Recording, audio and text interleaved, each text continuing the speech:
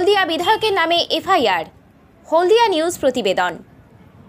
সোমবার তমলুক জেলা পুলিশ সুপারের অফিস ঘেরাও এবং অবস্থান কর্মসূচি ও ডেপুটেশনে সামিল হওয়া বিজেপি কর্মীদের বিরুদ্ধে আইন অনুযায়ী এফআইআর শুরু করলেন পূর্ব মেদিনীপুর জেলার পুলিশ সুপার। আগামী নয়ই আগস্ট বিজেপির পক্ষ থেকে দাবি করা হয়, এক লক্ষ মানুষের জমায়েত করা হবে। করোনা মহামারী আইনে বিজেপির বিধায়ক ও কর্মীদের ওপর আইন অনুযায়ী ব্যবস্থা নিয়েছেন জেলা পুলিশ সুপার। তমলুক থানার আইসি যে এফআইআর করেছেন তার সাত নম্বরে রয়েছে হলদিয়ার বিধায়িকা তাপসী মণ্ডলের নাম। রাজনৈতিক হিংসা চলছে। পুলিশ দলদাসে পরিণত। তাই অবস্থান বিক্ষোভে তাদের নামতে দেয়া হচ্ছে না বলে জানান হলদিয়ার বিধায়িকা তাপসী মণ্ডল।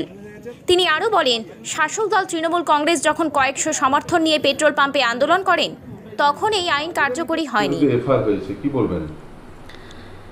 হ্যাঁ এফআইআর হয়েছে আজকের আমি খবর পেয়েছি। কিন্তু আমরা একেবারে আগে থেকে ঘোষণা অনুযায়ী আমাদের এই প্রোগ্রাম কর্মসূচি। কিন্তু যে ধারা, কারণে আমাদের এর ওপর কেস হয়েছে, সেটা বলছে আমরা কোভিড বিধি লঙ্ঘন করেছি। তবে কিছুদিন আগে যেটা পেট্রোল ডিজেলের দাম বৃদ্ধির জন্য এই সরকারের দল সারা রাজ্য জুড়ে পেট্রোল পাম্পে পাম্পে যে ঘটনা ঘটিয়েছে তারা প্রত্যেকটা ছবি আমাদের কাছে আছে। সেগুলো কি কোভিড বিধি মেনেই হয়েছিল? সেখানে যে সংখ্যাটা ছিল সেটা কি পঞ্চাশের কম? তাহলে যদি সরকার পক্ষের লোকজন কোভিড বিধি না মেনে এভাবে চলতে পারে অন্যান্য কোনো রাজনৈতিক দল কোনো কর্মসূচি করলে তাকে কোভিড বিধির আওতায় তাদের কেস দেওয়া হচ্ছে। এভাবে ভয় দেখিয়ে কোনো লাভ নেই। আরও বিষয়, মাননীয় প্রধান, মুখ্যমন্ত্রী, তিনি রাজ্যের প্রধান এবং প্রশাসনের প্রধান, তিনি তার প্রশাসনিক যে সরকার, যে প্রশাসনিক ব্যবস্থাটা ওনারই হাতে। কিছুদিন আগে আমরা দেখেছি মন্ত্রী কয়েকজন যারা একেবারে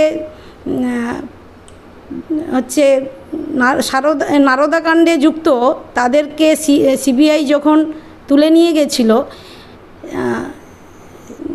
সেই সিবিআই দপ্তরের সামনে মাননীয় মুখ্যমন্ত্রী নিজে উপস্থিত থেকে এবং কয়েক হাজার মানুষের সেখানে জমায়েত করে যে ঘটনাটা ঘটিয়েছিলেন এই রাজ্যের সরকার নিজে যদি আইন শৃঙ্খলা ভেঙে ফেলেন সেখানে সাধারণ নাগরিকদের কি বার্তা দেবেন? আর তাহলে কি আমরা বুঝব যে সাধারণ কোনো বিরোধী দল তাদের জন্যই খালি আইন, তাদের জন্যই খালি এই নিয়মের বেড়াজাল? আর সরকারের কোনো রকম দায়বদ্ধতা নেই? এভাবে ভয় দেখিয়ে কোনো বিরোধীদের মুখ বন্ধ করা যায় না, কোনোভাবে আমরা ভয় পাই না। আমরা আমাদের জন এলাকার জনগণের যা দাবি, সারা রাজ্য জুড়ে যে সন্ত্রাস, যে বিশৃঙ্খলা তৈরি হয়েছে। বিভিন্ন রাজনৈতিক দলের কর্মীদের ওপর যেভাবে আক্রমণ হচ্ছে, ঘরবাড়ি ভাঙা, লুটপাট এবং বাড়ি ছেড়া, ছাড়া হতে বাধ্য করা হচ্ছে, তার বিরুদ্ধে ভারতীয় জনতা পার্টি প্রতিনিয়ত লড়াই সংগ্রাম করবে। আমরা তাদের জন্য এরকম ঘটন, এরকমভাবে আমরা প্রতিবাদ সংগঠিত করব। আগামী দিনে আমরা সেই ডাক দিয়েছি। আমাদের বিরোধী দলনেতা কালকের এসপি অফিসের সামনেই ডাক দিয়েছেন, নয়ই আগস্ট। আমরা সারা রাজ্য জুড়ে বিক্ষোভ কর্মসূচি গ্রহণ করব। সেখানে আমরা এই কোভিড বিধি নিশ্চিত থাকবে না। শুধুমাত্র এই দল, রাজ্যের সরকার শুধু বিরোধীদের জন্য এই নিয়ম করেন। আশা করি তখন আর কোভিড বিধির দোহাই দেবেন না হয়তো দিতেও পারেন উনি আবার লকডাউন বাড়িয়ে দিতে পারেন। লকডাউন বলছেন কিন্তু উনি আবার নির্বাচনের জন্যও যাচ্ছেন।